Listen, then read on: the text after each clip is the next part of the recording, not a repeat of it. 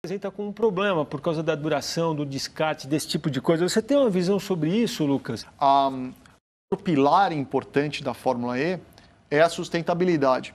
E sustentabilidade é um conceito, talvez vistos, visto por muitos, é, em relação a ativismo e pouco em relação à tecnologia.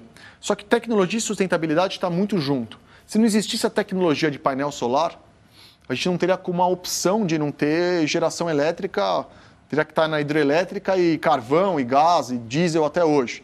Então, é, a tecnologia está muito linkada com isso. E bateria, o, o produto tecnológico mais importante dessa próxima década.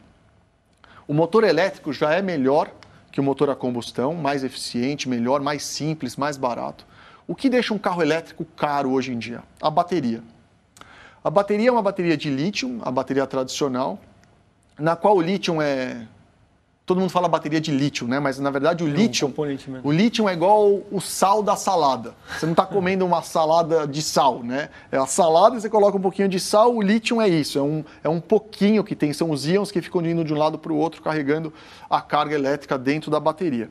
A bateria ela é feita de níquel, ela é feita de manganês, tem um pouco de cobalto, é, algumas baterias de ferro. E, enfim, e todos esses materiais, não tem nenhum material pesado, não é aquela bateria de chumbo ácido que você tem no seu carro hoje, aquela bateria pesada que tem ácido dentro, que se cair na pele, não. A bateria de lítio é uma bateria muito mais ecológica, é uma bateria que é totalmente reciclável. E o que pouca gente sabe que é o seguinte, né? A bateria dos veículos, elas são feitas para durar cerca de 3 mil ciclos.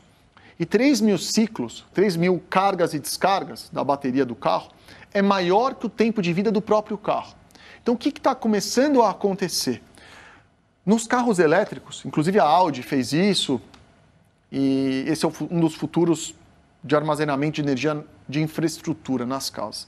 Elas estão tirando as baterias dos veículos usados e transformando essas baterias para uso substituindo gerador em hospitais, nas cidades, nas próprias casas, em, em, em lugares de abastecimento de veículo elétrico que é o chamado de bateria de segunda vida.